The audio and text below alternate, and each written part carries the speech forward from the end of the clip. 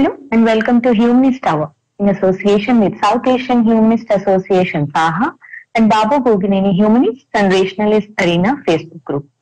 నేను మీ ఆర్జే ధన్య బిజినెస్ మీ అభిప్రాయాన్ని మాతో పంచుకోవాలనుకున్నా లేదా మీ ప్రశ్నల్ని అడగాలనుకున్నా please call or message on ఆ Skype ID T O R I Tori dot L I V E live one Tori dot live one ఈ రోజు మన ఎపిసోడ్లో మనం ఒక ఇంట్రెస్టింగ్ డాక్యుమెంటరీ గురించి మాట్లాడుకోబోతున్నామండి అండి వైల్ వీ వాచ్డ్ అనే డాక్యుమెంటరీని ట్వంటీ ట్వంటీ లో టొరాంటో ఇంటర్నేషనల్ ఫిల్మ్ ఫెస్టివల్లో ప్రీమియర్ చేయడం జరిగిందండి.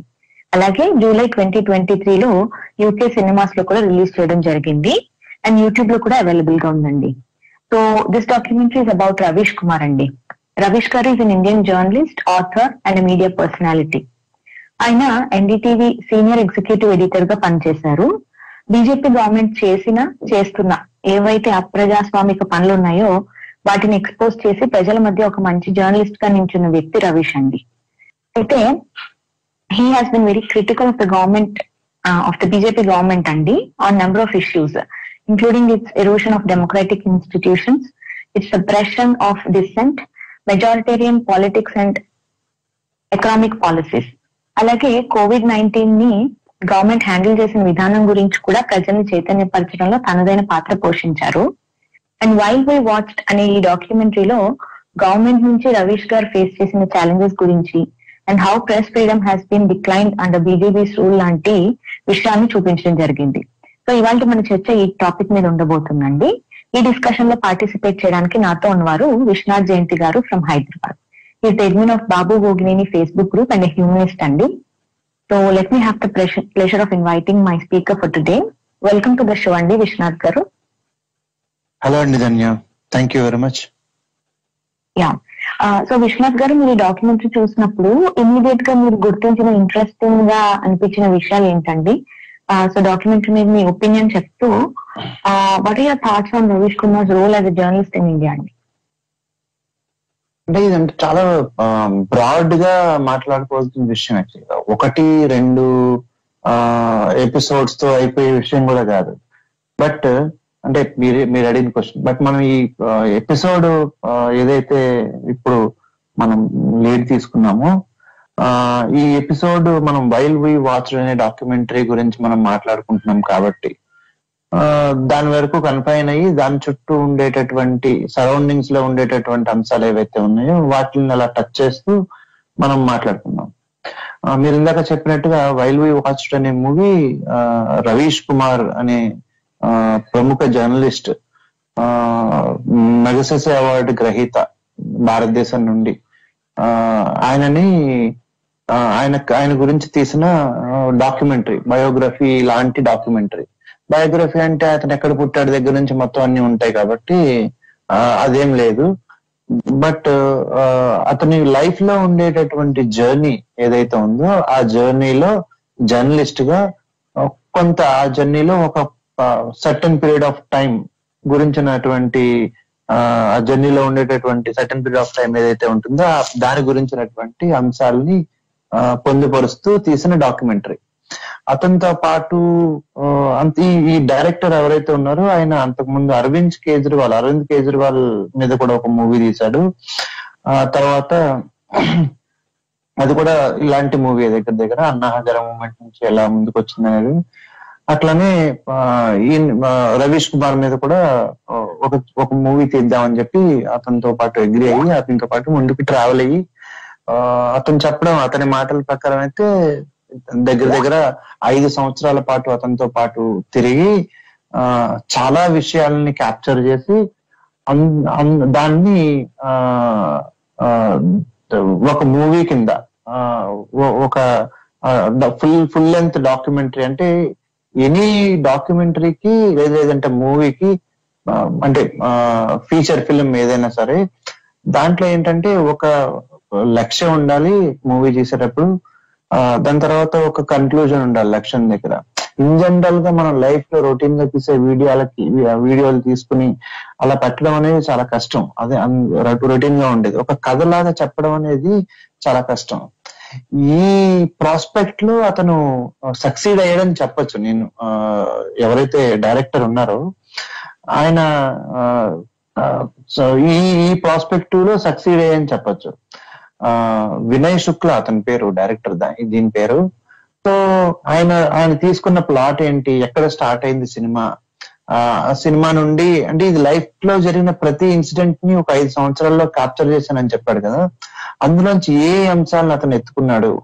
ఆ ఏవి ముఖ్యంగా అనిపించాయి? ఏవి దాంట్లో పెట్టుకు ఏ ఏ సీన్స్ని తను సినిమాలో పెట్టుకున్నాడు? చాలా జనరల్గా ఉండే కాన్వర్సేషన్ని ఒక పవర్ఫుల్ మెసేజింగ్ టూల్గా వాడడం అనేది చాలా కష్టమైన విషయం. ఫర్ ఎగ్జాంపుల్ రవీష్ కుమార్ ఈ మూవీలో ఒక పెట్రోల్ బంక్ దగ్గర ఆగుతాడు. పెట్రోల్ బంక్ దగ్గర ఆగి పెట్రోల్ పోయించుకుంటూ ఉన్నప్పుడు జనరల్ ఇంకా ట్వంటీ ఫోర్ అవర్స్ అతను తీస్తారేమో ఆ మూవీకి సంబంధించినట్టు. అతన్ని విష్ చేస్తూ కొంతమంది ముందుకు వస్తూ ఉంటారు. ఆ, అది ఒక జనరల్ కాన్వర్సేషన్ జరిగి వాళ్ళిద్దరి మధ్య జరుగుతుంది. రవీష్ కుమార్ ఏం తన తన రెస్పాన్స్ ఒక అద్భుతమైన రెస్పాన్స్ ఇస్తాడు అతనికి. ఆ, ఒక మీరంటే నాకు చాలా గౌరవం అవి అవి ఇష్టం అని చెప్తూనే అతను చేసే ఒక క్వశ్చన్కి ఒక అద్భుతమైన రెస్పాన్స్ అంటే జనరల్ కాన్వర్సేషన్లోనే అలాంటివి ఇస్తాడనమాట అది చాలా చక్కగా క్యాప్చర్ చేశారు. సో అదే అదే అంశాన్ని పెట్టాలనిపించడం. అండ్ ఇంకొక విషయం అతను పర్సనల్ లైఫ్లో మ్యూజిక్ నేర్చుకుంటుంటున్న అమ్మాయి వాళ్ళ అమ్మాయి తోటి జరిగే కాన్వర్సేషన్ నుంచి ఆ తను ఈ ఈ ప్రొఫెషన్లో ఏదైతే జర్నలిస్ట్గా ఉండేటటువంటి ప్రెజర్స్ ఏవైతే ఉన్నాయో ఆ ప్రెజర్స్ నుంచి బయటకు రావడానికి ఏవైతే ఆ ప్రయత్నం మళ్ళీ మళ్ళీ చేయాలి సాధన అనేది మళ్ళీ మళ్ళీ మనకు వచ్చేలాగా చేయాలని వాళ్ళ అమ్మాయి ఆ ట్యూన్ గురించి చెప్తున్న మాటలు మళ్ళీ గుర్తు గుర్తు తెచ్చుకుని మళ్ళీ దీన్ని ఒక దీనిలా రావటం. సో ఇవన్నీ కూడా అంటే తన లైఫ్లో జరిగినటువంటి రియల్గా క్యాప్చర్డ్ చేసినటువంటి ఆ, చాలా విషయాల్ని దృష్టిలో పెట్టుకుని ఇవన్నిటిని ఒక ఒక ఫీచర్ ఫిలిం గా అందించడం అనేది చాలా కష్టమైన కష్టసాధ్యమైన పని. ఒక కన్క్లూజన్ తెచ్చేలాగా. అంద అందరికీ ఇది అంత ఈజీగా జరగదు. సో ఈ విషయంలో మనకి వినయ్ శుక్లా అనే ఆయన కొంచెం దాని ఏమంటారు సక్సీడ్ అయ్యాడనే చెప్పొచ్చు. ఆఫ్ కోర్స్ సక్సీడ్ అయ్యాడు అనడానికి ఇంకొక కొలమానం ఏంటంటే ఇది దగ్గర దగ్గర ఆ ఇప్పటికి రెండు వేల ఇరవై రెండులో టొరంటో ఇంటర్నేషనల్ ఫిలిం ఫెస్టివల్లో విన్ అయింది. అలాగే twenty seventh Busan international film ఫెస్టివల్లో కూడా విన్ అయింది. సో దీన్ని బట్టి కూడా మనం అర్థం చేసుకోవాలి. ఇంటర్నేషనల్ ఇంటర్నేషనల్గా రికగ్నైజేషన్ వచ్చింది already two thousand twenty two లో ఈ రిలీజ్ చేసిన దగ్గర. సో దీన్ని బట్టి మనకి ఏం అర్థమవుతుందంటే అంటే ఆ, దీంట్లో ఉండేటటువంటి అంటే జనరల్గా ఉండేటటువంటి సినిమాలు ఆ, లో ఉండేటటువంటి లక్షణాలు ఏవైతే ఉన్నాయో అవన్నీ కరెక్ట్గా ఉన్న ఉంటేనే కదా అవన్నిట్లో వస్తాయి. సో అతను ఏమైతే మెసేజ్ చెప్పాలనుకున్నాడో అది చాలా క్లియర్గా చెప్పాడు. ఆ కేటగారికల్గా కూడా దాన్ని చెప్పడం జరిగింది. సో ఇది ఈ ఈ- ఈ ఫిలిం యొక్క అంటే ఫిలిం మీద నాకున్న ఒపీనియన్ సో అండ్ ఇంకొకటి ఇంకొక విషయం చెప్తాను ధన్య. ఇందులో చాలా డైరెక్ట్గా ఇండియన్ మీడియా ఎలా బిహేవ్ చేస్తుంది ఒక విషయం మీద ఆ, ఎలా బిహేవ్ చేస్తే బాగుంటుంది ఎలా బిహేవ్ చెయ్యాలి ఈ మూడు విషయాల్ని టచ్ చేశాడు ఇందులో. ఏదైనా ఒక విషయాన్ని పట్టుకుంటే వాళ్ళు ఎలా? ఫర్ ఎగ్జాంపుల్ నరేంద్ర మోడీ గారి ప్రసంగాన్ని ఒకటి చూపించి అది నేషనలిజం గురించినటువంటి మాటలు ఆయన ప్రసంగంలో చెప్తాడు. నేషనలిజం అనేది కరెక్ట్గా ఉండాలి. నేషనలిజం అనేది మన ఊపిరి. ఆ- రేంజ్లో ఆయన చెప్తాడు. మూవీలో ఇంకా బాగా చూపించాడు అనుకోండి అది- డైలాగ్ రియలిస్టిక్గా జరిగిన. సిచ్యువేషన్ అవునండి. అక్కడ ఒక డైలాగ్ ఏముంటుందంటే ఎవరైనా ఒకరు జర్నలిస్ట్ అవ్వాలి అంటే ముందు నేషనలిస్ట్ అయ్యి ఉండాలి అనే ఒక మాట మాట్లాడతాడు అనమాట రిపబ్లిక్ టీవీకి సంబంధించిన జర్నలిస్ట్ అవ్వాలంటే నేషనలిస్ట్ అవ్వాలి. ఈవెన్ డాక్టర్ అవ్వాలన్నా నేషనలిస్ట్ అవ్వాలి ఇప్పుడు చూడండి ఏమైనా సరే నేషనలిస్ట్ అవ్వాలి ఫస్ట్ నేషనలిస్ట్ అయితేనే ఇంకా అనేది అనే రకంగా అంటే ఆ, ఒక రకమైనటువంటి క్రియేషన్ ఎలా క్రియేట్ చేస్తుంది. అట్లనే మీకు మిగిలిన యాంకర్లు కూడా చే- ఇచ్చిన రియాక్షన్స్ చూడండి అందులో. నేషనలిస్ట్ అంటే ఏంటి? ఇంకా అంటే ఒక మెసేజ్ని ఎలా కమ్యూనికేట్ చేయాలి? ఏ విధంగా దాన్ని అందరిలోకి తీసుకెళ్ళాలి? ఆ మార్కెటింగ్ అంటారు కదా ఈ మార్కెటింగ్ మీడియా మార్కెటింగ్కి యూజ్ అయ్యేటటువంటి విషయాలు. జనరల్గా మనకి వార్తలు వార్తా సంస్థలు ఏవైతే ఉన్నాయో వాటిలో వార్తలు ప్రసారం చేయడానికి ఉంటాయి యాక్చువల్గా వార్తల మధ్యలో వాటి రెవెన్యూ కోసం అడ్వర్టైజ్మెంట్స్ వస్తూ ఉంటాయి. ఇప్పుడు ఈ ఈ సినిమాలో చూపించిన దాని ప్రకారం అయితే మొత్తం ట్వంటీ ఫోర్ అవర్స్ అది అడ్వర్టైజ్మెంట్ మోడల్లోనే ఉందని అర్థం అది. సో అందుచేత ఆ, ఆ- రకంగా ఉంది అవతల వైపు. యువతల వైపు ఎలా ఉంది అనే విషయాలు కూడా మాట్లాడితే దానికి నిజంగా ఎలా ఎలా రెస్పాండ్ కావాలి ఎలా ఉండాలి రెస్పాన్స్ అనే విషయాల్ని మాట్లాడ మాట్లాడడం జరిగింది. జనరల్గా ఇప్పుడు హైపర్ నేషనలిజం అనే ఇష్యూ ఏదైతే వచ్చిందో అది ఇక్కడే కాదు. ప్రపంచంలో చాలా చాలా దేశాల్లో హైపర్ నేషనల్ నేషనలిజం వచ్చింది. దీనివల్ల ఆ, ఉపయోగపడిన ఏదైనా బాగుపడిన దేశాలు ఏమైనా ఉన్నాయా లేవా అని చూసుకుంటే కనుకున్నట్లయితే మనకి మనకి ఎగ్జాంపుల్సే కనబడుతున్నాయి. హైపర్ నేషనలిజం మన మన మన జాతి యొక్క ప్యూరిటీ గురించి మాట్లాడిన జర్మనీ ఈ రోజు కూడా ఆ ఆ- ఆ విషయాల్ని తలుచుకుని ఆ బాధపడుతూ ఉంటారు ఆ- ఆ దేశంలో ప్రజలు. అండ్ ఇప్పటికీ కూడా ఆ దేశంలో నాజీ సెల్యూట్ చేస్తే వాళ్ళని వాళ్ళని అరెస్ట్ చేస్తారు. సో అంటే దాని యొక్క రెసిడ్యూలో ఒక చిన్న విషయం కూడా మా దగ్గర ఉండకూడదు అనుకునే విషయంలో వాళ్ళు చాలా భయంగా ఉన్నారు. అంటే అంత భయం భయపడింది యాక్చువల్గా ఆ, జర్మనీ ఈ విషయాల్లో. సో హైపర్ నేషనలిజం కి ఒక ఎగ్జాంపుల్ ఇది మనం చూసుకుంటే. మీరు ఇంకొక విషయం చూడండి. ఆ రువాండా రేడియో రువాండా మీకు చూడండి. రేడియో రువాండా జీనోసైడ్ అని చెప్పి ఆ ఒక గూగుల్లో మనం కొడుతాం టైప్ చేస్తే మీకు ఒక క్లియర్గా ఒక దేశం గురించిన రేడియో తను చేసిన పని ఏంటి దాని తర్వాత దానిలో ఉండే రిపల్ రిపల్కేషన్స్ ఏంటి చివరికి ఏం జరిగింది అనే అనే విషయాలు మనకి ఆ, అందులో అర్థమవుతాయి. శ్రోతలు ఎవరైనా ఉంటే ఎవరైనా ఇంట్రెస్టింగ్గా ఉంటే రేడియో రువాండా గురించి రేడియో రువాండా సైడ్ అని చెప్పి వెతికితే అర్థమవుతుంది. రువాండా అనే దాంట్లో దగ్గర ఆ, టుస్సీ అనే కమ్యూనిటీకి ఆపోజిట్లో నైన్టీన్ నైన్టీ టు నైన్టీ ఫోర్లో ఇన్ బిట్వీన్ నాకు ఎగ్జాక్ట్గా డేట్స్ గుర్తులేవు. బట్ నైన్టీ టూ గానీ నైన్టీ ఫోర్ గానీ కావచ్చు. ఈ ఈ ఇక్కడ వాళ్ళ మీద చాలా దారుణమైన మానవ మారణ హోమం జరిగింది. దానికన్నా ముందు ఎలా ఉంటుందంటే ఒకే ఒక రేడియో ఉందా రువాండా అనే కంట్రీలో. సో ఈ ఈ రువాండా అనే కంట్రీలో ఉండేటటువంటి ఈ రేడియో పేరు రేడియో రువాండా. జనరల్గా మనం తీసుకుంటాం కదా. అలాగే మనకి ఆల్ ఇండియా రేడియో లాగా వాళ్ళకి కూడా రేడియో రువాండా అన్నమాట. సో ఈ రేడియో రువాండా ఏం చేసిందంటే ఆ రువాండీస్ పేట్రియాటిక్ ఫ్రంట్ అని ఒక ఒక ఒక పార్టీకి తర్వాత ఆర్ రువాండీస్ పేట్రియాటిక్ ఫ్రంట్ ఒక ఒకటి దాని తర్వాత ఆర్టిఎల్ఎం ఇవి. ఈ రెండు పార్టీలకి సంబంధించినటువంటి గొడవలు జరుగుతూ ఉంటే దాంట్లో మెజారిటీ కమ్యూనిటీస్ ఏదైతే ఉందో దాన్ని మెజారిటీ కమ్యూనిటీని కన్సాలిడేట్ చేసే పనిలో ఆ ఈ జరిగినటువంటి మెసేజింగ్ ఏదైతే ఉంటుందో రేడియో రువాండా ఈ రేడియో ద్వారా చేసినటువంటి మెసేజింగ్ ఏదైతే ఉందో అది కొన్ని ఆ, వేల మంది కొన్ని వేల మంది మరణానికి దారితీసింది యాక్చువల్గా. ఇది ఎవరు టుస్సీ కమ్యూనిటీస్ ఎవరైతే ఉన్నారో వాళ్ళకి. టుస్సీస్ని బొద్దింకలుగా మనకి మనం కంపేర్ చేసుకుంటే అండి ధన్య చాలా ఎగ్జాంపుల్స్ మనకు దొరుకుతాయి.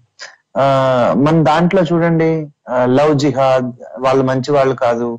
ఆ తర్వాత జిహాద్ ప్రతిదీ జిహాదే. ఆ అనుకుంటూ ముస్లిమ్స్ని మాట్లాడేటటువంటి విషయాలు ఇవన్నీ కూడా మనకి మన కంట్రీలో మనం చూస్తున్నాం.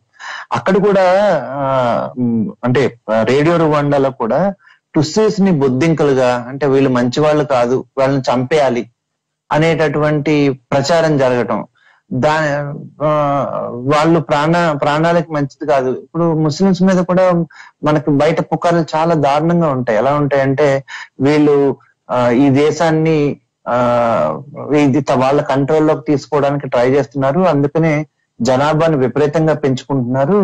ఆ ఒక్కొక్కళ్ళు ఐదైదు పెళ్ళిళ్ళు చేసుకుంటారు. పెళ్ళిళ్ళు చేసుకుని ఐదైదుగురికి ఐదు ఐదైదు ఐదైదు పిల్లలు పుడితే ఆ ఐదైదు ఇరవై ఐదు మంది. ఒకళ్ళు ఇరవై ఐదు మందిని జనరేట్ చేయాలి అనేటటువంటి ఆ ఈ జనరేషన్ నెక్స్ట్ జనరేషన్ చూసుకు రావాలి అనేటటువంటి మైండ్ సెట్తో ముస్లిమ్స్ అందరూ ఉన్నారు అనే పుకారు చాలా దారుణంగా బయట తిరుగుతూ ఉంటుంది. నిజంగా చెప్పాలంటే అంటే ఆ మన దేశం భారతదేశం అనేది ఇండియా భారతదేశం కానీ ఇండియా కానీ దీని మీద కూడా గొడవ ఉంది కాబట్టి నేను ఇప్పుడు భారతదేశం ఇండియా రెండు వాడతాను ఇప్పుడు. ఇది వరకంటే భారతదేశం అని వాడుకునేవాళ్ళం ఇప్పుడు ఇంకా ఇండియా అని భారతదేశం అని రెండు వాడాలి. సో ఈ ఈ ఈ రెండిటి మధ్యలో అంటే ఈ వేరే మైనారిటీ కమ్యూనిటీస్ మీద ఉండేటటువంటి ద్వేషాన్ని కన్సాలిడేట్ చేసేటటువంటి ఇష్యూ ఆ ద్వేషాన్ని పెంపొందించడానికి చేసేటటువంటి పుకార్లు ఆ పుకార్లని ప్రాపగేట్ చేసేటటువంటి జర్నలిస్టిక్ వేషాల్లో ఉండేటటువంటి వీళ్ళు నేషనలిస్ట్ని నేషనలిజం ని పె- పెట్టుకునే హైపర్ నేషనలిజం పెట్టుకునే వాళ్ళు. ఇలాంటి ఒక వ్యవస్థ ఉంటే ఆ వ్యవస్థకి వ్యతిరేకంగా ఒక పర్సన్ ఒక ఒక మీడియా ఛానల్ ఇది కాదు జర్నలిజం అంటే జర్నలిజం అంటే ఇలా ఉండాలి అని చెప్పి ప్రతి దగ్గర తన ఆ, తన తనని తాను డిఫరెన్షియేట్ చేసుకుంటూ మెయిన్ స్ట్రీమ్ మీడియాలో ఉండేది. ఆ ఏదైతే గ్యాప్ ఏదైతే ఉందో ఆ గ్యాప్ను ఫిల్ చేసి నిజమైన న్యూస్ అంటే ఏంటి ఆ, ఏం జరుగుతుంది అనే విషయాలన్నీ అన్ని ప్రజలకు చెప్పాలనే ఉద్దేశంతో చేసినటువంటి పోరాటం కంటిన్యూగా ఉంటే అతనికి జరిగిన లైఫ్లో జరిగిన ప్రతి ఇన్సిడెంట్ ఫర్ ఎగ్జాంపుల్ మీరు చూడండి ఆ ఈ సినిమాలో అతనికి వార్నింగ్ ఒక ఒక అతను రవి యాంటీ నేషనల్ అని చెప్పి ఆ ఎవరైతే నేషనలిజం ని అడాప్ట్ చేసుకోరో జర్నలిస్టులు కానీ ఏ ఎవరైనా కానీ వాడు యాంటీ నేషనలిస్ట్ అవుతాడు అనమాట so anti nationals urban naxals అనే కొత్త కొత్త పదాలు వాడడం. అలాగే మీకు ఆ, వాడేది రవీష్ కుమార్ని యాంటీ నేషనల్ కింద చెప్పి ప్రచారం చేయటం. అదే టైంలో మీకు ఐ థింక్ మునవర్ మునవర్ ఫారూక్ అతని పేరు సమ్ ఒక ఒక జేఎన్యూ స్టూడెంట్ జేఎన్యూ లీడర్ ఎవరైతే ఉన్నారో ఆ జేఎన్యూ లీడర్ ఎవరైతే ఆ ఆ లీడర్ని వీళ్ళు టార్గెట్ చేయడం అతన్ని మర్డర్ చేయడానికి ట్రై చేయడానికి ఒక గన్. ఢిల్లీలో దాని దాంట్లో చేయడం. ఏది నేషనలిజం పేరుతోటి యాంటీ నేషనల్ నిర్మూలించాలనే పేరుతోటి. సో బయటికి గ- గన్నులు దొరకడం అంటే మీడియా అందరూ ఏంటి యాంటీ నేషనల్ నేషనలిజం నేషనలిస్ట్గా ఉండాలి యాంటీ నేషనలిజం వల్ల ఇలా జరిగింది ఇలా జరిగింది ఇది ఒక న్యూస్ కింద చూపెడితే అసలు ఇంత టైట్ సెక్యూరిటీలో ఉండేటటువంటి ఢిల్లీలో గన్ ఎలా వచ్చింది బాంబులు ఎలా వస్తున్నాయి సో దీన్ని బట్టి మన సెక్యూరిటీ డొల్లతనం కూడా ఉంది కదా ప్రభుత్వంలో. దీన్ని మనం మనం ఫిక్స్ చేసుకోవాల్సిన అవసరం ఉంది. అది కూడా చూడాల్సిన అవసరం ఉంది. అట్లీ అట్లీస్ట్ మనం ఖండించడం ఓకే. ఖండ్ ఏదైతే జరిగిందో దాన్ని ఖండించడం సపోర్ట్ చేయడం ఓకే. బట్ ఇది ప్రభుత్వం యొక్క వైఫల్యం కూడా అవుతుంది కదా. అని చెప్పి క్వశ్చన్ చేస్తాడు మన రవీష్ కుమార్ ఇందులో. సో అసలు జర్నలిస్ట్గా ఏం చూడాలి అనే ప్రాస్పెక్ట్ ఏ ప్రాస్పెక్ట్ చూడాలి ఏ ప్రాస్పెక్ట్లో మనం ప్రజలకు న్యూస్ తీసుకోవాలి అనేటటువంటి ఆ ఈ విషయాలు ఏవైతే ఉన్నాయో ఇవన్నీ రవీష్ కుమార్ చాలా చక్కగా డీల్ చేసినట్టు మనకి ఈ సినిమాలో చూపించారు. అండ్ రేడియో రేడియో రువాండా ఒకటే ఉంది అప్పట్లో. మనకు దగ్గర దగ్గర ఇప్పుడు హిందీ ఛానల్స్ చూసుకున్నా తెలుగు ఛానల్స్ చూసుకున్నా మీకు ఈ మధ్య వార్తల్లో కూడా తెలుసు అనుకుంటా దాదాపు పదకొండు మందో పన్నెండు మందో జర్నలిస్టుల్ని అపోజిషన్ పార్టీలు ఆ యాక్చువల్గా బాయ్కాట్ చేసాయి వీళ్ళు వీళ్ళ వీళ్ళ ఇంటర్వ్యూలకి మేము ఎవరిని పంపించాం ఆ వీళ్ళ వీళ్ళ ఇంటర్వ్యూలతో మేము మేము ఎవరు వెళ్ళం అని చెప్పి ఇండియాలో ఉండే ఇండియా అంటే భారతదేశ ఇండియా అలయన్స్ ఏదైతే ఉందో ఆ ఇండియా అలయన్స్ ఆ ప్రతినిధులు ఈ ఈ పలానా పలానా జర్నలిస్టులు ఎవరైనా ఇంటర్వ్యూస్ చేస్తే వాళ్ళకి వెళ్ళమని పన్నెండు పదకొండు మంది పన్నెండు మంది పేర్లు రిలీజ్ చేశారు. వీళ్ళ అంటే ఇంతమంది ఇన్ని రేడియో రివాండాలకి లేటెస్ట్ వెర్షన్స్ మన దగ్గర ఉన్నాయి అని చెప్పి చాలా క్లియర్గా అర్థమవుతుంది. మీరు సింపుల్గా చూస్తే తబ్లీగీ జమాత్ అని కోవిడ్లో తబ్లీగీ జమాత్ అనే ఇష్యూ జరిగింది. ఈ ఇష్యూలో ఆ మీరు మీడియా ఎంత దారుణంగా ప్రవర్తించిందో దాన్ని అవుట్కమ్ ఎలా ఉందో చివరికి కోర్టులు సైతం ఇతను ఆ కరెక్ట్గా లేరు వీడు మీడియా కరెక్ట్గా లేదు హేట్ స్పీచ్ని ఆ బయటకి తీసుకొస్తా ఉంది అది హింసాత్మకంగా మారే అవకాశం ఉంది అని చెప్పి కోర్టులు చెప్పాయి వార్నింగ్ ఇచ్చాయి. సో ఈ విధంగా మీకు ఆ చూసుకున్నట్లయితే ఈ మూవీలో ప్రతి అంశాన్ని చాలా చక్కగా చూపించారు. రియలిస్టిక్గా జరిగిన ఇన్సిడెంట్స్ని కనెక్ట్ చేసుకోవడం వల్ల ఏం జరుగుతుందంటే మనకు కూడా ఈ ఇన్సిడెంట్స్ అన్ని తెలుసు. సో ఈ టైంలో అంటే ఇప్పుడు చూడండి ఈ రోజు ఎవరైతే ఈ మీడియా గవర్నమెంట్ని సపోర్ట్ చేస్తుందో లేకపోతే ఒక mouth piece of the single ideology లేదా సింగిల్ పార్టీ అయిందో మెయిన్ స్ట్రీమ్ మీడియా అంతా రేపొద్దున్న ఒకవేళ గవర్నమెంట్ మారితే వీళ్ళు కూడా వీళ్ళు మారిపోవచ్చు. వాళ్ళు వాళ్ళు ప్లేట్ తిప్పచ్చు. కానీ మరి ఫ్యూచర్లో వీళ్ళు వీళ్ళు ఈ టైంలో చేసినటువంటి ఆ, ఈ గొడవ ఈ టైంలో చేసినటువంటి వీళ్ళు వీళ్ళు పంచినటువంటి హేట్ రేట్ ఆ తర్వాత ఈ టైంలో చాలా మంది ఎఫెక్ట్ అయ్యారు కదా. వాళ్ళు వాళ్ళ సంగతి వీళ్ళందరి పరిస్థితిని ఎలా చూడాలి? వీడిని రికార్డ్ చేసే చరిత్ర కావాలి కదా. చరిత్రకారులు అయితే చరిత్ర రాస్తూ ఉంటారు. ఈ మధ్యన ఎవరు చదువుకోవట్లేదు కూడాను. సో ఆ, పుస్తకాలు చదవడం చాలా మంది తగ్గించేశారు. సో దీన్ని బట్టి మనకి ఏమర్థమవుతుందంటే ఒక ఈ సందర్భంలో ఉండేటటువంటి ఒక సాక్ష్యంగా డాక్యుమెంటరీ ఉంటే బాగుంటుందని వాళ్ళు అనుకోవడం దానికి తగ్గట్టుగా ఈ డాక్యుమెంటరీ తీయడం జరిగింది. So this is one of the finest making in terms of అంటే ఫిలిం మేకింగ్లో ఉండేటటువంటి టెక్నిక్స్ ఏవైతే ఉంటే వాటిల్లో టెక్నిక్స్ అన్నిటిని చాలా uh, చక్కగా యూజ్ చేసుకున్నారు. దాన్ని బట్టే uh, జరిగింది. అండ్ uh, ఇంకా తర్వాత మెయిన్ స్ట్రీమ్ డాక్యుమెంటరీ కాబట్టి రియలిస్టిక్ మూమెంట్స్ బాగా క్యాప్చర్ చేయడం జరిగింది. సో ఆ క్యాప్చర్ చేసిన మూమెంట్స్ ఏవైతే ఉన్నాయో అవన్నీ చాలా కరెక్ట్గా చక్కగా వచ్చాయి అని చెప్పి నేను అనుకుంటున్నాను Sabiha sorry. Dhanya. Yeah we got a call అండి యాక్చువల్లీ బాలా గారు కాల్ చేశారు. హలో బాలా గారు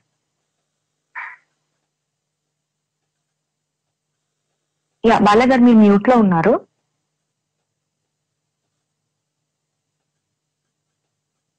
హలో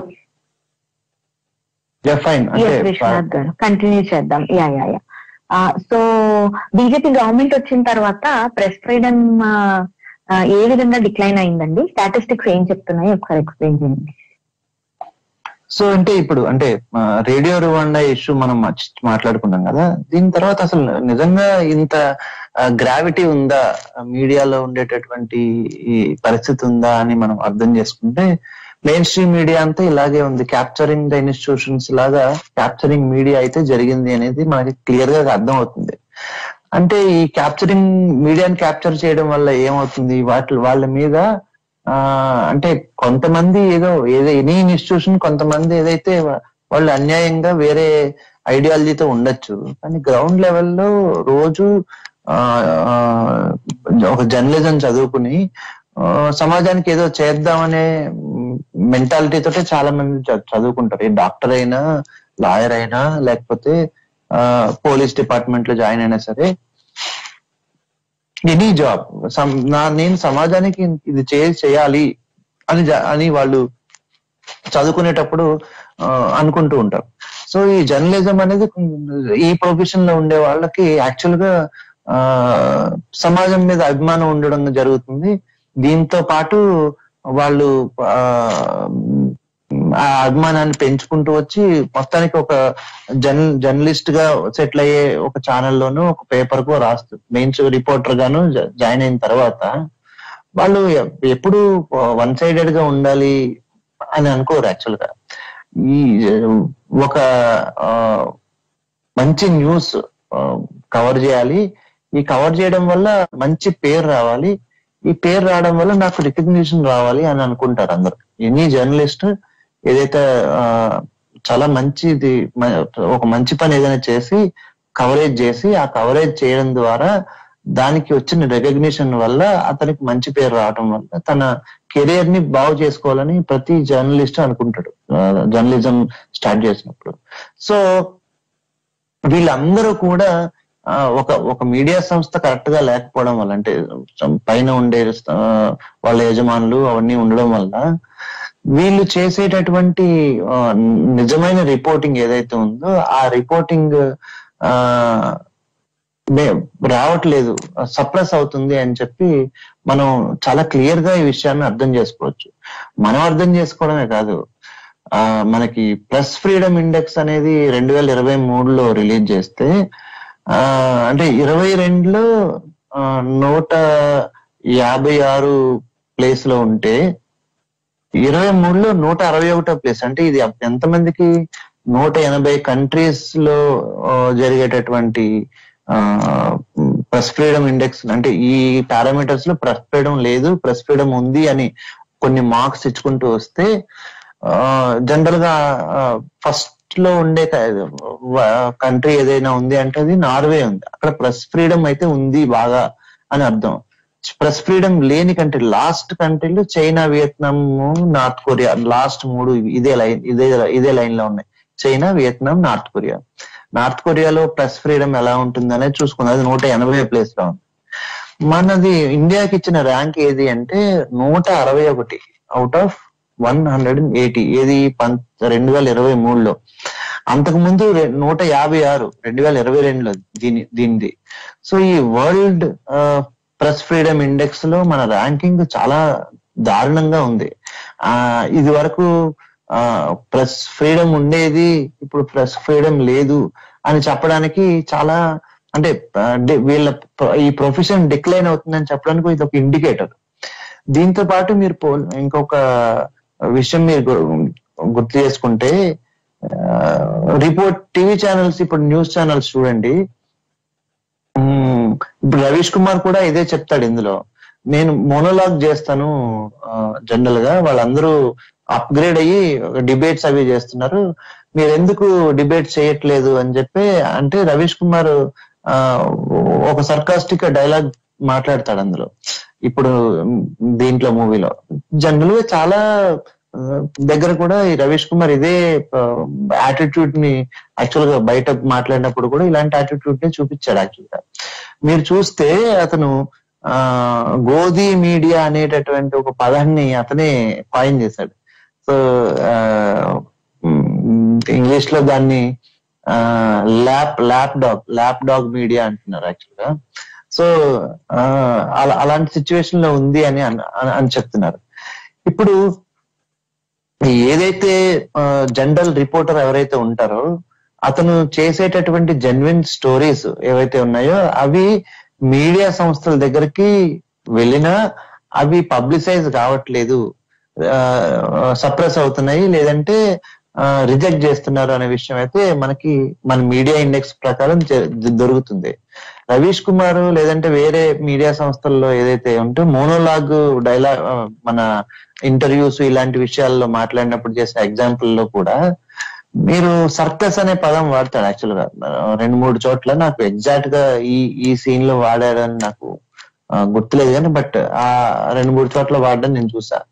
సో అండ్ ఇంకోటి బయట విండో జర్నలిజం ఎక్కువైపోతుంది. ఫర్ ఫర్ ఎగ్జాంపుల్ మీరు చూడండి అంటే న్యూస్ కన్నా ప్రజెంటేషన్కి ఎక్కువ ఫోకస్ ఇవ్వడం జరుగుతుంది. ఈ మధ్య కాలంలో ఒక ఆమె గొడుగు పట్టుకుని ఆ వర్షాలు తుఫాన్లు తుఫానికి రిపోర్టింగ్ స్టూడియోలో గొడుగు పట్టుకుని అటు ఇటు డ్రామా చేస్తూ చేసింది. సో అంటే న్యూస్ మీడియా ఎంటర్టైన్మెంట్ డ్రామా జనాలు కోరుకుంటున్నారు. అనేటటువంటి ఇంపాక్ట్ అయితే చెప్తుంది. ఇదే క్వశ్చన్ రవీష్ కుమార్ అడిగితే అంటే ఇలాంటివి అడిగితే నేను మొనలాగా చేస్తాను నేను news చెప్పాలనుకుంటున్నా that is my job entertainment చేయాలనుకున్న వాళ్ళని ఎంటర్టైన్మెంట్ చేయొచ్చు చేయొచ్చు అని చెప్పాను. చేయమనండి అంటాడు. అండ్ ఇంకొక విషయం కూడా మీరు ఒక విషయం గుర్తుపెట్టుకుంటే మనం అంతకు ముందు కూడా చర్చించాను దీని గురించి. మరి కరోనాలో అంటే మన తెలుగు ఆ, రాష్ట్రాల్లో దాదాపు ఇరవై ఇరవై ఐదు ఛానల్ ఛానల్స్ ఉన్నాయి. ఇందులో number one number two number three అని ఎవరు క్లెయిమ్ చేసుకున్నా టీవీ నేను ఎన్టీవీ ఇలా రకరకాల టీవీలు ఉన్నాయి. కానీ కోవిడ్ టైంలో అంటే న్యూస్ ప్రైమ్ టైం న్యూస్ ఏదైతే అంటే రేటింగ్ ఎక్కువ వచ్చిన టీవీ ఛానల్ ఏది అంటే ఈటీవీ. ఈటీవీలో జనరల్గా మనకి old style of news telling ఉంటుంది. అంటే మనకు దూరదర్శన్ ఎలా అయితే ఉంటుందో దానికి కొంచెం అప్గ్రేడెడ్గా ఉంటుంది. ఆ దాంట్లో న్యూస్ డైరెక్ట్గా చెప్పడం ఈ న్యూస్ జరిగిందని చెప్తారు అంతే. ప్రైమ్ టైమ్లో వచ్చే న్యూస్ మాత్రమే. దాని జనరల్ మిగిలిన టైంలో వాళ్ళు వాళ్ళ ఎంటర్టైన్మెంట్ ప్రోగ్రామ్స్ అవన్నీ ఉంటాయి.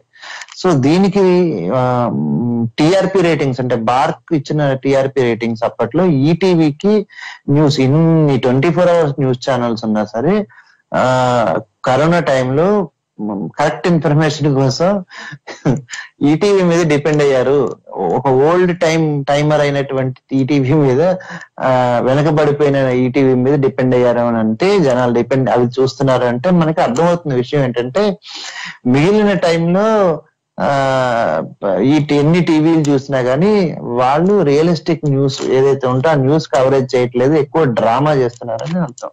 చాలా మంది ఎక్కువసేపు న్యూస్ ఛానల్స్ చూస్తూ ఉంటారు. అది హెల్త్కి మంచిది కాదు యాక్చువల్గా.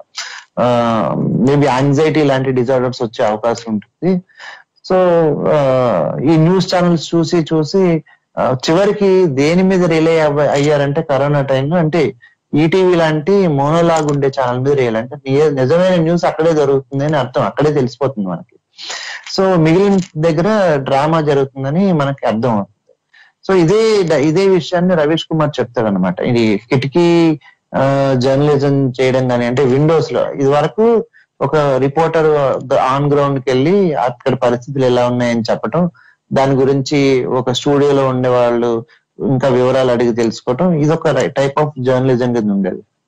ఇప్పుడు ఎలా ఉంటుందంటే అంటే నేషనల్ మీడియా అంతా ఎలా ఉందంటే ఆన్ గ్రౌండ్ ఏమీ అవసరం లేదు. ఏఎన్ఐ అనే ఛానల్ ఒకటి ఉంటుంది.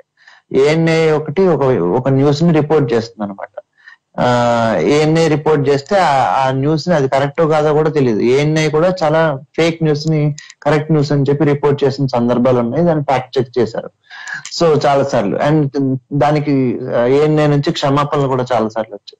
ఈ ఏఎన్ఐ అనే న్యూస్ ఆ, సంస్థ ఏదైతే ఉందో పిటిఐ ఏఎన్ఐ అని ఉంటాయి. ప్రెస్ ట్రస్ట్ ఆఫ్ ఇండియా అని ఉంటుంది. Asian news index something like ANI అనేది ఒకటి ఉంటుంది. సో ఈ ఏఎన్ఐ మీద డిపెండ్ అయ్యి ఈ ఎన్ఎఫ్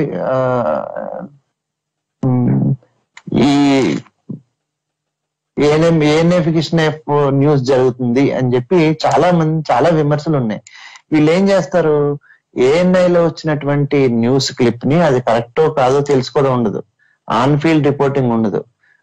ఏం చేస్తారంటే ఆ- ఆ- పాయింట్ని పట్టుకుని అది మన మన దగ్గర ఏదో ఎలా ఉపయోగపడుతుంది మన స్ట్రీమ్లో ఎలా మాట్లా మార్చుకోవచ్చు అని మాట్లాడతారు.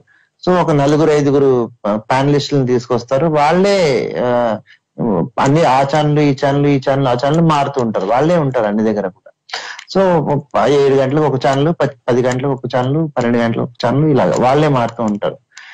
మారుతూ ఉండి ఒక ఆ, ఒక చైనీస్ లైఫ్ టైప్ ఆఫ్ వేషన్లో ఉండే ఒకళ్ళు పాకిస్తాన్ అంటే అతను చైనీస్ నేషనల్ కింద అనమాట ఒక పాకిస్తాన్ ముస్లిం వేషంలో ఆ, కట్టుకుని ఒకళ్ళు ఉంటారు. వీళ్ళు ఒక బక్రాలు. వాళ్ళు ఏం చేస్తారు?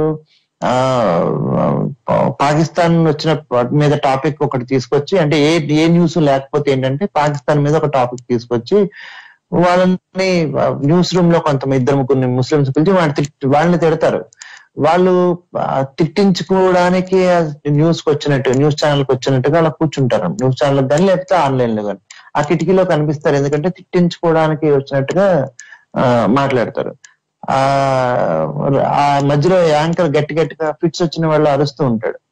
ఈ ఈ టైప్ ఆఫ్ మీడియాకి అలవాటు పడిపోయారు జనరల్గా సో ఈ అది అది ఒక ఎంటర్టైన్మెంట్ అన్నమాట మనకి. సో ఆ ఎంటర్టైన్మెంట్ ఫేజ్లోకి న్యూస్ వెళ్ళిపోయింది. ఆ న్యూస్ వెళ్ళిపోవడం వల్ల అసలైన న్యూస్ చెప్పేవాళ్ళు ఎవరు లేరు. అందుకని నేను మోనలాగా చేస్తానని రవీష్ కుమార్ చెప్తాడు. సో మీరు ప్రెస్ ఫ్రీడమ్ గురించి అడుగుతున్నారు కాబట్టి అంటే ఆన్ ఫీల్డ్ జర్నలిజం కూడా సప్రెస్ అయిపోవడం కానీ వరల్డ్ ఇండిపెండెంట్ జర్నలిస్టులు ఎవరైతే ఉన్నారో వాళ్ళందరి ఫోరం ఏదైతే ఉందో అది వరల్డ్ ప్రెస్ ఫ్రీడమ్ ఇండెక్స్ ఒకటి తయారు చేస్తే వితౌట్ జర్నలిస్ట్ వితౌట్ బోర్డర్స్ అనుకుంటా వాళ్ళు చేసింది. సో ఎగ్జాక్ట్గా నాకు గుర్తులేదు. బట్ జర్నలిస్ట్ వితౌట్ బార్డర్స్ అనుకుంటా. సో వీళ్ళు చేసిన సర్వేలో మన మన ర్యాంకింగ్ చాలా కిందకి రావటం. మనకన్నా అంటే ప్రతిసారి ఏ ర్యాంకింగ్ చూసుకున్నా సరే మనం పాకిస్తాన్కి బంగ్లాదేశ్కి వెనకాల ఉండడం అనేది కొంచెం బాధాకరమైన విషయం యాక్చువల్గా బట్ మనం బాధాకరమైన విషయాలు కూడా మనం యాక్సెప్ట్ చేయగలగాలి. యాక్సెప్ట్ చేసి దీని నుంచి బెటర్గా ఎలా ఉండాలి అనేటటువంటి సిచ్యువేషన్లకు వెళ్ళాల్సిన అవసరం ఉంటుంది.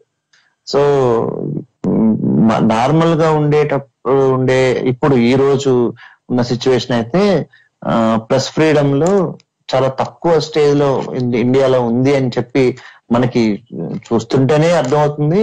అండ్ వీరి వివిధ సంస్థలు కూడా సర్వేలో చెప్పింది మనకి అర్థమవుతా ఉంది. ధన్య ఎస్ ఎస్ విశ్వనాథ్ గారు. ఇప్పుడు ఈ ప్రెస్ ఫ్రీడమ్ ఇండెక్స్ అనేది డిక్లైన్ అవడం వల్ల కామన్ మ్యాన్ మీద డెమోక్రసీ మీద ఎలాంటి ఎఫెక్ట్ పడుతుందండి? అండ్ అలాగే జర్నలిస్ట్ ఫేస్ uh, చేస్తున్న థ్రెట్స్ ఏంటి? సో యా ఈ క్వశ్చన్స్ ఒకసారి ఆన్సర్ ఇక్కడ చూడండి అంటే జర్నలిస్టులు ఫేస్ చేసే థ్రెట్ గురించి మనం మాట్లాడుకుందాము. అసలు డెమోక్రసీ మీద ఎలా ఇంపాక్ట్ పడుతుంది అంటే మా ఇండియా ఒక డెమోక్రటిక్ కంట్రీ కాబట్టి డెమోక్రటిక్ స్పిరిట్ ఏదైతే ఉందో దీన్ని కాపాడుతూ ఉండాలి యాక్చువల్గా. డెమోక్రసీ అనేది అటు రైట్ సైడ్కి లెఫ్ట్ సైడ్కి తిరుగుతూ ఉంటుంది ఆటోమేటిక్గా. తిరుగుతూ ఉన్నప్పుడు దాన్ని అంటే రైట్ వై రైట్ వింగ్ వైపు లెఫ్ట్ వింగ్ వైపుకి వస్తూ ఉంటుంది. ఆ ఒకసారి ఆటోక్రసీ వైపు కనిపిస్తా అయింది అని అనుకుంటాము. మళ్ళీ ఈ ర్యాంక్ దీని మీద కూడా ర్యాంకింగ్స్ ఉంటాయి యాక్చువల్గా. డెమోక్రసీ ఎలా ఫాలో అవుతుంది కూడా ర్యాంకింగ్స్ ఉంటాయి. దాంట్లో కూడా మనది అంత మంచి ర్యాంక్ రాలేదనుకోండి ఇండియాకి. సో మనకి చిన్నపిల్లలు అంటే ఎవరికైతే చదువుకుంటున్నారో పిల్లలు ఇంటర్మీడియట్లో టెన్త్లో చదువుకుంటున్నారో వాళ్ళకి ర్యాంకులు రావాలి. మనం ఓట్లేసుకుని ఒక ప్రభుత్వాన్ని నిలబెట్టుకుని ఆ ఆ- ఆ ప్రభుత్వానికి ఆ ప్రపంచంగా ప్రపంచవ్యాప్తంగా ఉండే ఆ ఆ ఏదైతే హక్కులు కాపాడుకునేటువంటి అక్షరాస్యత గాని ఏ ఏ రకమైనటువంటి ర్యాంకులైనా సరే దాంట్లో ర్యాంకులు రాకపోయినా మనకి ఆ పర్వాలేదు నో ఇష్యూస్. అది విదేశాలకు సంబంధించినవన్నీ మనం మాట్లాడుకుంటాం. సో ఇందులో ఈ మీరు అడిగిన క్వశ్చన్ ప్రకారం ఆ, ఇండియాలో ఉండేటటువంటి డెమోక్రసీకి ఏ విధంగా ఈ ప్రెస్ ఫ్రీడమ్ సరిగా లేకపోతే ఇంపాక్ట్ పడుతుంది అనేది. ప్రెస్ ఫ్రీడమ్ మీద ఖచ్చితంగా ప్రెస్ ఫ్రీడమ్ అనేది ఖచ్చితంగా ఇంపాక్ట్ చేస్తుంది డెమోక్రసీని ఎగ్జాంపుల్ మీకు అంటే మనకు తెలుసు కదా డెమోక్రసీ అనేది ఒక ఫోర్ పిల్లర్స్ కలిగి ఉంటుందని. ఇందులో ఫోర్త్ పిల్లర్ ఇదే అని చెప్పి ప్రెస్ అని చెప్పి. అంటే ప్రెస్ ఫ్రీడమ్ ఉంటేనే అంటే ఎవరైనా క్వశ్చన్ చేస్తేనే మనకు ఆపోజిషన్ అంటే ఓన్లీ ఆపోజిషన్ పార్టీలే కాదు. ఆపోజిషన్ అంటే పౌర సంఘాలు కూడా కావచ్చు అపోజిషన్ అంటే ప్రెస్ కూడా కావచ్చు. అండ్ ఇప్పుడు మోడర్న్గా ఒక పవర్ఫుల్ మీడియా ఉండేటటువంటి ఈ రోజుల్లో అంటే ఒక కమ్యూనికేషన్ మీడియం ఇది అంటే రేడియోలో ఒక మాట వినడం అంతే. ఇప్పుడు మనకి ఏంటంటే ఆడియో విజువల్ ఎఫెక్ట్ కూడా కనబడుతుంది. పలానా చోట ఇలా జరుగుతుంది అని రిపోర్ట్ ఎవరైనా చేస్తే దానికి ఆడియో విజువల్స్ కూడా కనబడుతున్నాయి. సో ఆ ఇప్పుడు చేసే లోకల్గా చేసేటటువంటి సర్కస్ కాదనుకోండి నార్మల్గా మిగిలిన విషయాలు చెప్తున్నాను. జనరల్గా ఆడియో విజువల్స్ కూడా కనపడే ఉంటుంది కాబట్టి the impact is very huge. ఈ రోజు మీడియా యొక్క ఇంపాక్ట్ ఏదైతే ఉందో ఆ ఇంపాక్ట్ హిట్లర్ టైంలో చేసిన మీడియా యొక్క ఇంపాక్ట్ ఏదైతే ఉందో దాని మీద దగ్గర దగ్గర ఒక వంద రెట్లు ఎక్కువ ఇంపాక్ట్ క్రియేట్ చేస్తుందని మాట్లాడుకోవచ్చు మనం. ఎందుకంటే ఆ టైంలో రేడియో టెలివిజన్ కూడా చాలా లిమిటెడ్గా ఉంటుంది సో రేడియో మాత్రమే ఉండింది. అండ్ పేపర్లు ప్రెస్ ప్రెస్ ఉండింది. వాళ్ళు ఎంత ఒక పేపర్లో ఒక ఆర్టికల్ రాస్తే ఆర్టికల్ uh, ఎంత బాగా ఆర్టికులేట్ చేసి రాసినా సరే ఎంత నైస్ వర్డింగ్ చేసినా సరే దాని ఇంపాక్ట్ విజువల్గా వచ్చిన ఇంపాక్ట్ మీద ఉండేటటువంటి విషయం మీద రాదు కదా. ఫర్ ఎగ్జాంపుల్ ఆ ఇప్పుడు హిమాచల్ ప్రదేశ్లో వరదలు వస్తున్నాయి అని చెప్పి ఒక ఫోటో వేసి ఒక న్యూస్ ఆర్టికల్ రాయడానికి ఒక వరదలో బ్రిడ్జ్ కొట్టు కొట్టుకుపోతున్న విజువల్ మనకు చూపించడానికి ఒక డిఫరెన్స్ ఉంటుంది కదా. సో దా దానికే ఒకళ్ళు మీ ఒక చెరువులో కూర్చొని ఆ ఒక మీడియాలో ఒక చెరువులో కూర్చుని ఆవిడ రిపోర్ట్ చేస్తుంది. హిమాచల్ ప్రదేశ్లో వరదలు ఆ ఎక్కడి దాకా వచ్చాయి పై దాకా వచ్చాయని చెప్పి. ఆ అనుకోకుండా దంత ఆ, ఆవిడ లోపలికి వెళ్ళేటప్పుడు బయటకు వచ్చేటప్పుడు ఉండే వీడియో కూడా మీడియాలో బయటకు వచ్చేసింది అది. అంటే వాళ్ళు రిలీజ్ చేయలేదు వేరే వాళ్ళు రిలీజ్ చేసినట్టున్నారు. సో ఆవిడ యాక్చువల్గా మోకాళ్ళ లోతు కూడా లేదు యాక్చువల్గా అది. అందులో ఆవిడ కూర్చుని ఆవిడ లోతుగా ఉన్నట్టుగా ఆవిడ చేస్తున్నారు రిపోర్టింగ్ ఇలాంటివి కూడా జరుగుతాయి. విజువల్ ఎఫెక్ట్ చేయడానికి చూసేటటువంటి విషయాల్లో. సో దీని ఇంపాక్ట్ చాలా ఎక్కువగానే ఉంటుంది. విజువల్ ఎఫెక్ట్లో వచ్చే ఆడియో విజువల్స్ ఎఫెక్ట్లో ఉండే ఇంపాక్ట్ చాలా ఎక్కువగానే ఉంటుంది. ఇది ఆ జనాల మీద కనుక ఇంపాక్ట్ క్రియేట్ చేయకుండా ఆ జనాలకి మీడియా రోల్ ఏంటి? ప్రభుత్వంలో వాళ్ళు ఎవరైతే అంటే ఒక ఒక హామీ ఇచ్చి ప్రభుత్వాలు అధికారంలోకి వస్తాయి కదా. అధికారంకి వచ్చిన తర్వాత దాన్ని క్వశ్చన్ చేయడం దాన్ని అది ఎంతవరకు నిర్వహి దానికి జవాబుదారీగా ఉండటం ఎంతవరకు ఉంది అనే విషయాన్ని దర్పణం పట్టాలి ఆపోజిట్లో ఉం- నించొని. సో ఏ అది ఏ గవర్నమెంట్ అయినా సరే ఇప్పుడు ఇప్పుడు సెంట్రల్లో బీజేపీ గవర్నమెంట్ ఉంది కాబట్టి బీజేపీ గురించి మాట్లాడతారు. అండ్ ఆపోజిషన్లో ఒకవేళ అంతకుముందు యూపీఏ ఉంటే యూపీఏ గురించి కూడా మాట్లాడాలి. నెక్స్ట్ ఒకవేళ వేరే గవర్నమెంట్ వచ్చింది అనుకోండి వాళ్ళ గురించి కూడా ఖచ్చితంగా మాట్లాడాలి. ఎందుకంటే ఎంతవరకు అవుతుందండి. ప్రజలకి సరైన ఇన్ఫర్మేషన్ తెలియకపోవడం ఒకటి ఆ దానికి సపోర్ట్ చేస్తూ వాటి వాళ్ళు చేసే రోల్ ఏదైతే ఉందో దాన్ని చేయకుండా అది ఏదైతే ఎజెండా డ్రివెన్ ఇప్పుడు రేడియో రివెండా గురించి మాట్లాడుతున్నాం కదా ఆ రేంజ్లో ఒక ఎజెండాని ముందు పెట్టుకుని దాన్ని డ్రివెన్ చేస్తూ చేసేటటువంటి జర్నలిజం వల్ల ఆ, ఖచ్చితంగా డెమోక్రటీ డెమోక్రసీ అనేది చనిపోతుంది మెల్లిమెల్లిగా ఆ చంపబడుతుంది అని కూడా మనం చెప్పుకోవచ్చు. దీనికి లైవ్ సాక్ష్యాలు ఇప్పుడు ఆ జర్మనీలో ఎలా జరిగింది తర్వాత రువాండాలో ఎలా జరిగింది అనే విషయాలు మనకి క్లియర్గా కనబడుతున్నాయి. గోగల్స్ అనే ఆయనని ఉరి తీశారు బయట ఆ, ఏమంటారు? జనరల్గా ప్రిజన్ లోపల ఉరి తీస్తారు కదా. ఇప్పుడు నడి రోడ్డు మీద ఉరి తీస్తారు గోగల్స్ అని ఆయన చేసిన పనికి హిట్లర్ టైంలో. సో ఈ- ఈ- విషయాలు మనం మాట్లాడుకుంటే కనుకున్నట్లయితే ఇప్పుడు ఇప్పుడు జర్నలిస్టులు సరిగ్గా పనిచేయకపోతే జర్నలిజం సరిగ్గా లేకపోతే మంచి ప్రెస్ లేకపోతే అది ఖచ్చితంగా డెమోక్రసీకి చాలా పెద్ద డ్రాబ్యాక్ అవుతుంది. అది సస్టైన్ అవ్వడానికి కూడా జర్నలిజం కావాలి. ప్రజల్లో చైతన్యం తీసుకురావడం జర్నలిస్ట్ యొక్క బాధ్యత.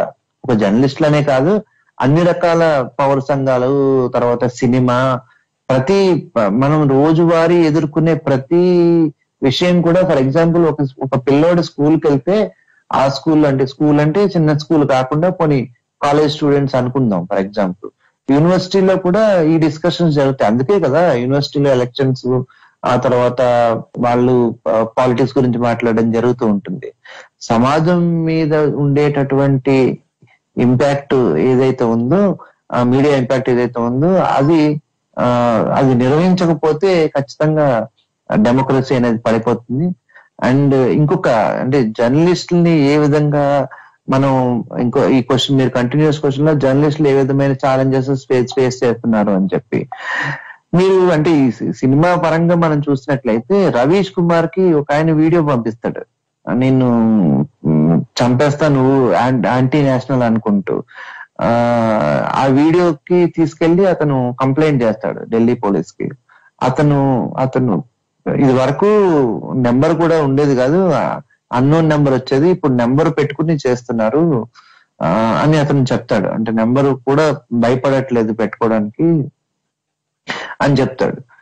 ఆ, సో దాని మీద కంప్లైంట్ ఇవ్వడం ఆ, దా- దానికి తగ్గట్టుగా అతనికి చేయడం మనకి అంటే సెక్యూరిటీ కల్పించడం అనేది మనం చూస్తూ చూస్తాం ఈ సినిమాలో. అంటే ఈ విధంగా జర్నలిస్టులు ఆ, అంటే కేసులను ఎదుర్కోవడం ఆ, తర్వాత ఈ జర్నలిస్టులు ఆ జైలుల్లో ఉండటం అనేది మన దేశంలో ఈ మధ్యన చాలా ఎక్కువగానే ఉంది. మీకు ఆ జీ న్యూస్ సంబంధించిన ఆయన ఆయన ఆయనను కూడా ఆ తిహార్ జైల్లో పెట్టారు. అది మనకి ఆ తెలుసు ఆల్రెడీ. ప్రణయ్ రాయ్ని ఆ జైల్లో పెట్టడం కానీ ఆ తర్వాత వాళ్ళ మీద అంటే యాక్చువల్గా ఆ, ఈడీ తర్వాత ఎన్ఫోర్స్మెంట్ డైరెక్టరేట్ ఆ తర్వాత సిబిఐ ఇవన్నీ చేయడం ఆ ఇవన్నీ కూడా మనకి తెలుసు యాక్చువల్గా. ఇంకా అంటే చాలా మంది జర్నలిస్టులు బెయిల్ కూడా దొరకకుండా జైల్లో మగ్గుతున్నారని మనకి ఈ మధ్య కాలంలోనే తెలిసింది. అంటే మనకి ఎంతమంది జర్నలిస్టులు ఇండియాలో ఉన్నారో మనకు అర్థం అవుతుంది సో ఏదైతే గవర్నమెంట్ అంటే పేర్లు దానికి నాకేం ప్రాబ్లం లేదు కానీ అది ఆ అంటే ట్రైల్లో ఉన్న విషయాలు మనం మాట్లాడకూడదని నేను ఎవరైతే జర్నలిస్టులు ఇప్పుడు ఆ జైళ్ళలో ఉన్నారో వాళ్ళ గురించి అంటే వాళ్ళ గురించి నేను సరి- మాట్లాడట్లేదు. బట్ జర్నలిస్టులు ఒక జర్నలిస్ట్గా తను రోజు ఉండేటటువంటి ఆ తను చేసే జాబ్ వాళ్ళ లైఫ్ థ్రెట్గా ఉంటుంది అని చెప్పి మనకు ఖచ్చితంగా ఈ సినిమా ద్వారా తెలుస్తా ఉంది.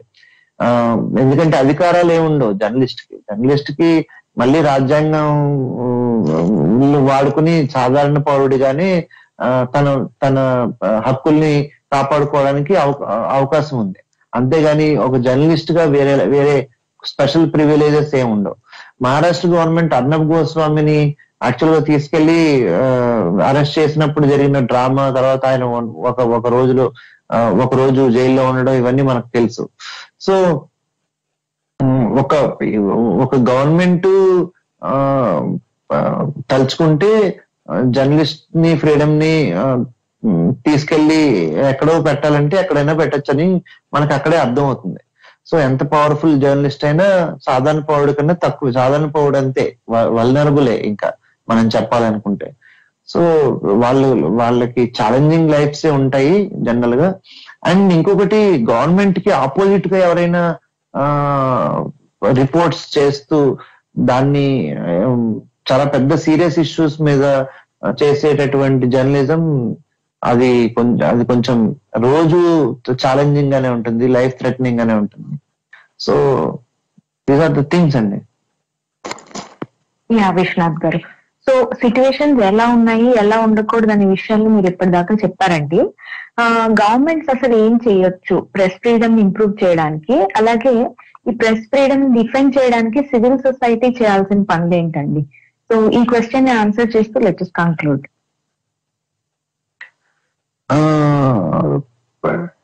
ఇందాక అంటే ఇందాకటి క్వశ్చన్లో ఇప్పటి వరకు అంటే గవర్నమెంట్ ద్వారా జైల్లో తీసుకెళ్ళబడి బడిన వాళ్ళందరినీ మనం అనుకున్నాం. కానీ ఇప్పుడు చూడండి మనం ఈ ఒక విషయం మనం మర్చిపోయాం మాట్లాడడం. ఆ జర్నలిస్టులు చంపబడ్డం కూడా ఈ ఈ పీరియడ్లో ఒక లాస్ట్ టెన్ ఇయర్స్ పీరియడ్లో ఎక్కువగానే జరిగింది.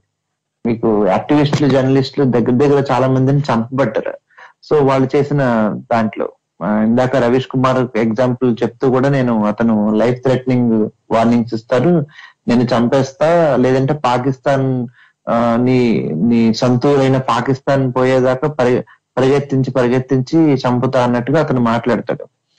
ఆ ఒక రెండు వేల ఇరవై రెండులోనే ఆ అరవై ఏడు మంది జర్నలిస్ట్ చనిపోయారు యాక్చువల్గా.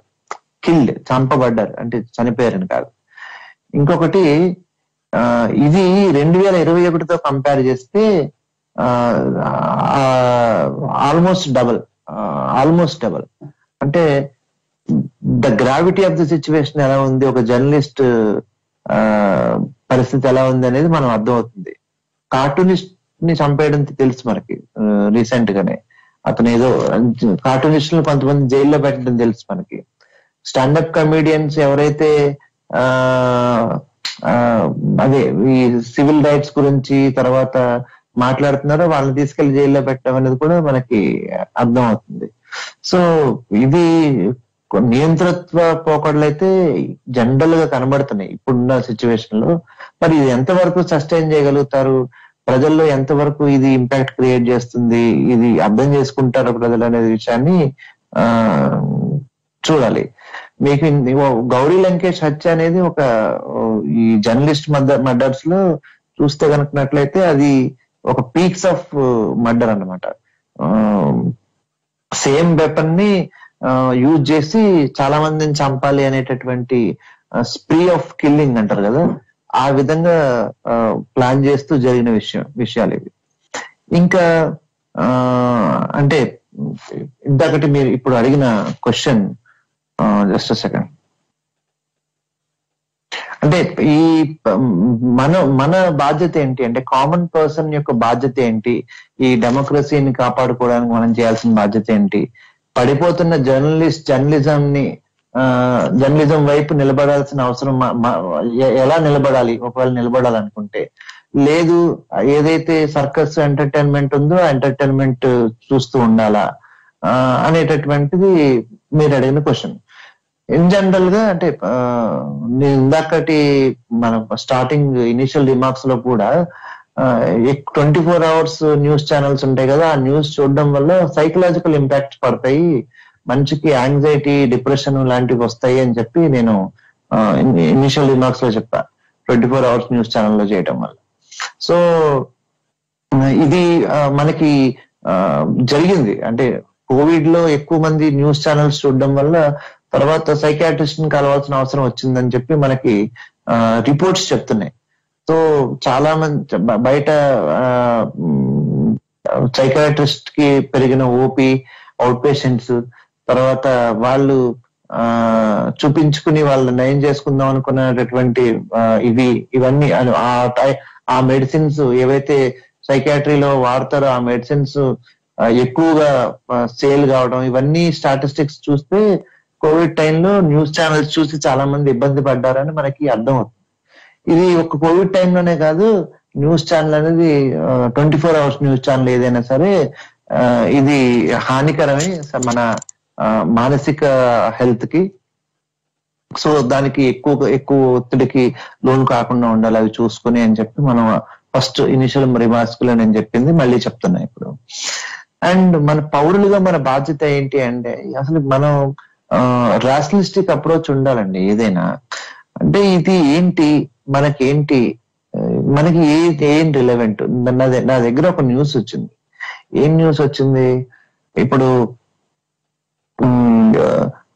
పలానా చోట ఎక్కడో వేరే వేరే కమ్యూనిటీకి చెందిన వాళ్ళందరినీ తీసుకుపోయి చంపేస్తున్నారంట అనే న్యూస్ నాకు వాట్సాప్ లోను న్యూస్ ఛానల్లోనూ వచ్చింది. దాని అంటే న్యూస్ ఛానల్లో కూడా ఫేక్ విజువల్ విజువల్స్ ఈ మధ్యన వస్తున్నాయి అది వేరే విషయం. సో విజువల్స్తో పాటు వచ్చినాయి అనుకుందాం మనకి. వాటిని మనం చూసుకుని అనలైజ్ చేయాలి. ఫర్ ఎగ్జాంపుల్ మనకిప్పుడు మొన్న ఆ, మణిపూర్లో జరిగిన విషయాలు చూడండి. ఒక ఫేక్ వీడియో అంటే ఢిల్లీకి సంబంధించినటువంటి వీడియో చూసి వీడియో చూపించి ఇది మన మన కమ్యూనిటీకి చెందినటువంటి అమ్మాయిని మెడికల్ కాలేజ్లో హింస పెట్టి చంపేశారు ఇదిగో వీడియో అని చెప్పి చూపించి ఇంటర్నెట్లో బాగా సర్క్యులేట్ చేశారు.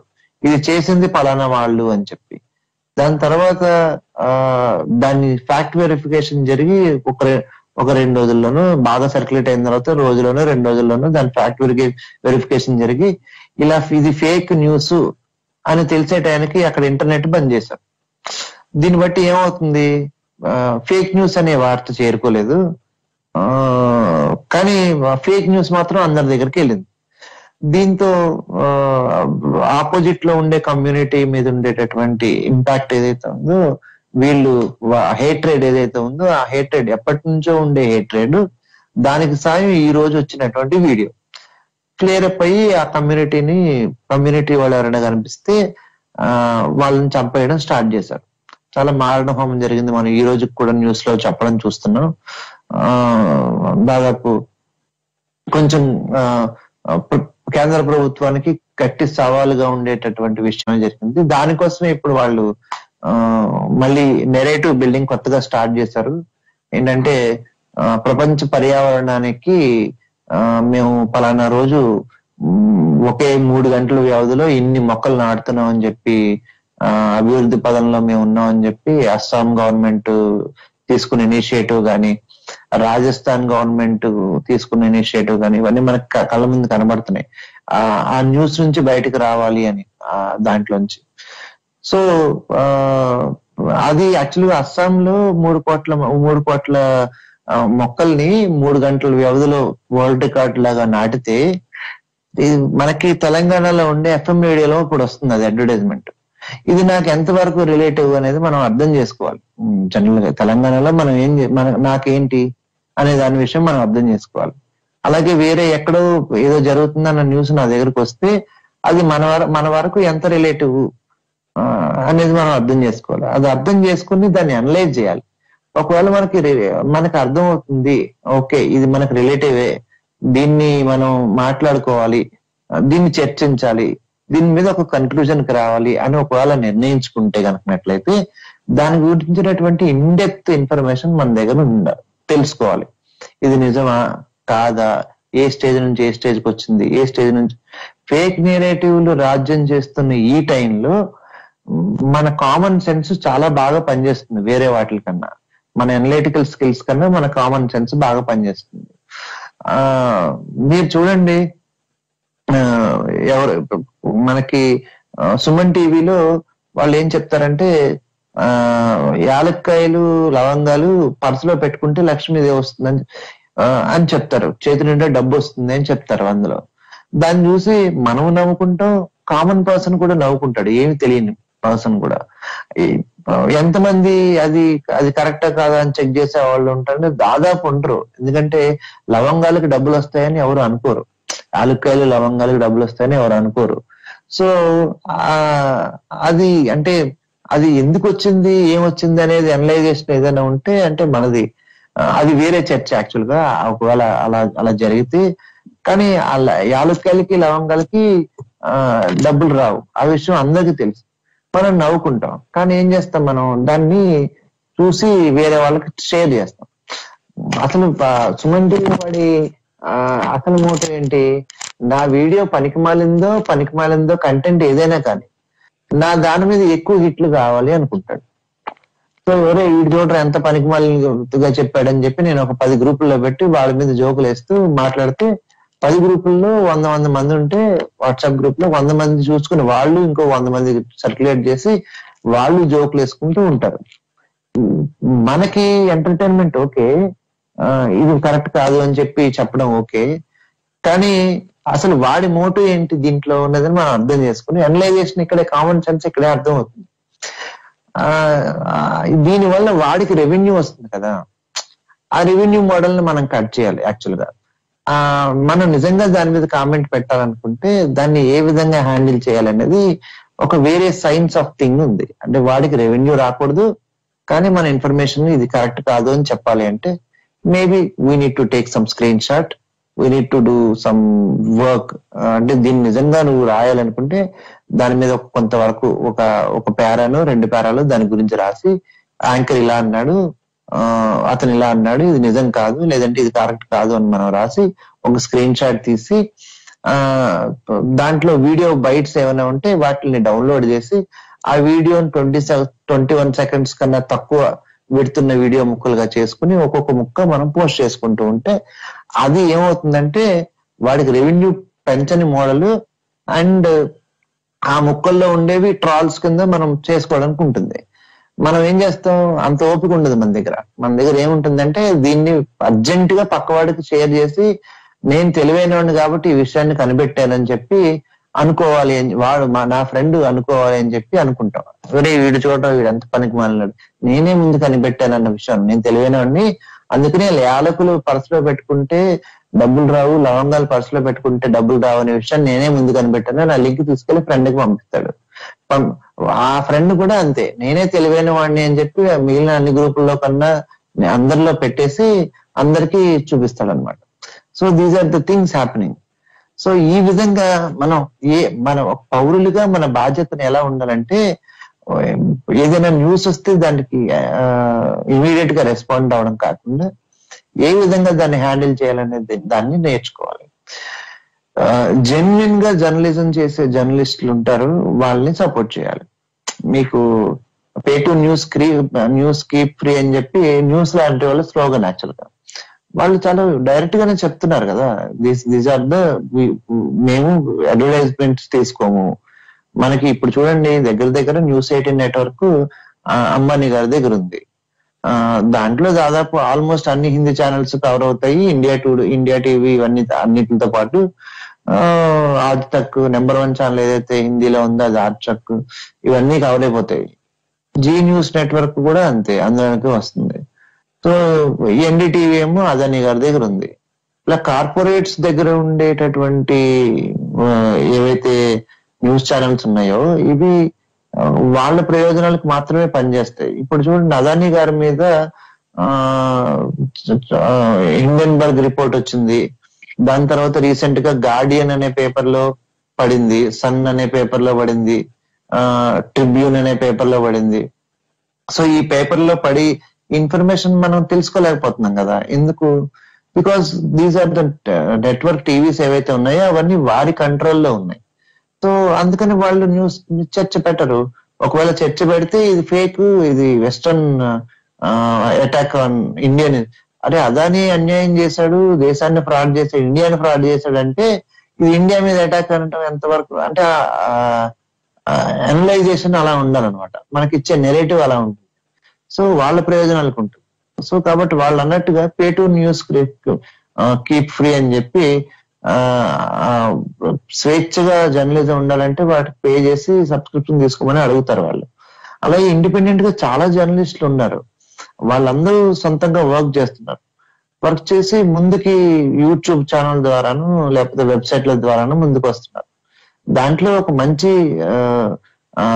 ఎథిక్స్ కనబడిన మనం అనలైజ్ చేసుకుని కొన్ని ఎథిక్స్ ఉన్న ఛానల్స్ ఇవి అని మనం డిసైడ్ చేసుకుంటే వాటిని సపోర్ట్ చేయడంలో కూడా ఎలాంటి తప్పు లేదు. అండ్ డెమోక్రసీని నిలబెట్టాలంటే ప్రెస్ ఫ్రీడమ్ అనేది అంటే చాలా ముఖ్యం. పత్రికా స్వేచ్ఛ అనేది మన భావ ప్రకటన స్వేచ్ఛలో ఒక భాగం యాక్చువల్గా. సో పత్రికా స్వేచ్ఛ కనుక ఏమైనా జరిగితే ఇంపాక్ట్ జరిగితే అది మన ప్రాథమిక హక్కు అయినటువంటి భావ ప్రకటన స్వేచ్ఛ మీద ఇంపాక్ట్ చేసినట్టు. ఈ ప్రాథమిక హక్కులకు ఎప్పుడైతే భంగం కలుగుతుందో అది ఖచ్చితంగా డెమోక్రసీకి మంచిది కాదు.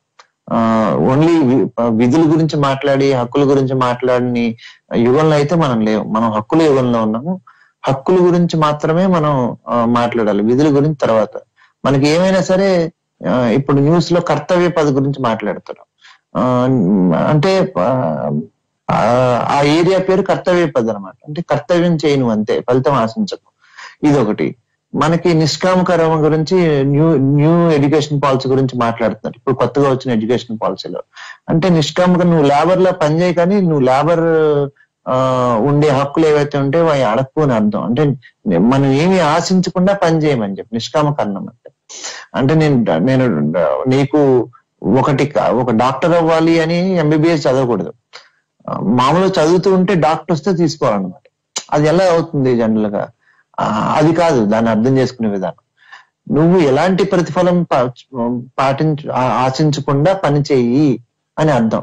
అది అంటే భగవద్గీతలో ఉండేటటువంటి ఒక ఒక పదాన్ని తీసుకొచ్చి మన ఎడ్యుకేషన్ పాలసీలో పెట్టారు. సో అంటే ఈ పాలసీ డాక్యుమెంట్లో ఒక భాగంగా పెట్టారు. అండ్ నెక్స్ట్ థర్టీ ఇయర్స్కి అదే ఎడ్యుకేషన్ పాలసీ. దీన్ని బట్టి మనకు అర్థమవుతుంది ఏంటి? గవర్నమెంట్స్ ఎలా ఏ వైపు నడిపించాలనుకుంటున్నాయో ఆ వైపు నడిపించేటప్పుడు జర్నలిస్టులు ఆ ఇది ఏదైతే ఎక్కడైతే గవర్నమెంట్స్ కరెక్ట్గా చేయట్లేదో దాన్ని చూపించాలి. ప్రజలకు చూపించాలి అట్లీస్ట్ చూపిస్తేనే దాని దాని యొక్క అవత పరిణామాలు దీని దీని ఒకవేళ ఇది అమలు జరిగితే జరిగే పరిణామాలు ఏంటి? అవేంటి? ఇవేంటని అర్థం చేసుకుని అనలైజ్ చేసుకుంటే దాని next time while choosing a good government ఇవన్నీ మనసులో బేరేజ్ వేసుకుని కామన్ పర్సన్ అనే ఆయన ఓటు వేయడం జరుగుతుంది అనమాట సో ఒకవేళ జర్నలిజం కరెక్ట్గా లేకపోతే ఖచ్చితంగా ఇంపాక్ట్ పడుతుంది. కాబట్టి బ్యాడ్ జర్నలిజం ని మనం చూస్ చేసుకోకుండా మంచి జర్నలిస్ట్ని చూస్ చేసుకోవడం మంచిది. ఇండిపెండెంట్ జర్నలిస్ట్ చాలా మంది ఉన్నారు. దాన్ని చూస్ చేసుకుని ఉండడం మంచిది. అండ్ ఫేక్ నెరేటివ్స్ నమ్మి దాంతో పాటు ఫేక్ అనాలిసిస్ నమ్మి ఆ, దాని వెనకాలే మైండ్లో ఉండడం మంచిది కాదు. అది కూడా కరెక్ట్ కాదు. ధన్య. ఎస్ ఎస్ విశ్వనాథ్ గారు. That was a wonderful show అండి. Thank you so much for joining me today అలాగే వచ్చే వారం మనం మంచి టాపిక్తో కలుసుకుందాం. ఇంతవరకు stay rational and be human this is RG Dhanya